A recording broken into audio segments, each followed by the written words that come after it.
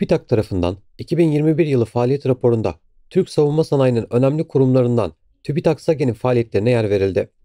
SAGE 31 Aralık 2021 tarihi itibarıyla toplam 54 proje yürütüyor. Bahse konu 54 projenin 3 tanesi Cumhurbaşkanlığı Strateji ve Bütçe Başkanlığı Projesi, 8 tanesi Taral Projesi, 43 tanesi Savunma Sanayi Başkanlığı ve diğer savunma sanayi kuruluşları ile yürütülen dış destekli projeler. SAGE tarafından ARGE hizmeti verilen farklı müşterilerin sayısı ise 2021 yılı itibarıyla 14 olarak gerçekleşti. 2021 yılı içerisinde yürütülen projelerde gerçekleşen önemli faaliyetler arasında hassas güdümlü mühimmat geliştirilmesi projesi de yer alıyor.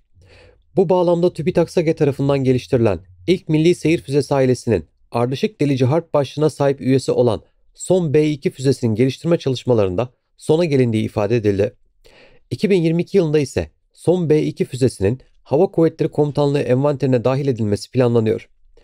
Ayrıca raporda F-35 müşterek tarz uçağı ve Milli Muharip uçağın dahili silah istasyonu ile uyumlu F-16 uçaklarında da kullanılabilecek son teknolojilere haiz modern bir silah sistemi olarak geliştirilmekte olan SOMJ füzesinin F-16 uçağından ilk atış testinin 2021 yılında başarıyla gerçekleştirildiği ifade edildi.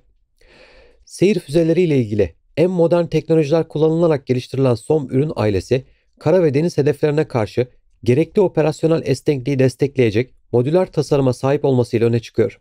SOM A, SOM B1, B2 ve SOM J'nin dünyadaki muadillerine göre daha düşük ağırlığa sahip olması bu füzeleri ilgi odağı haline getiriyor.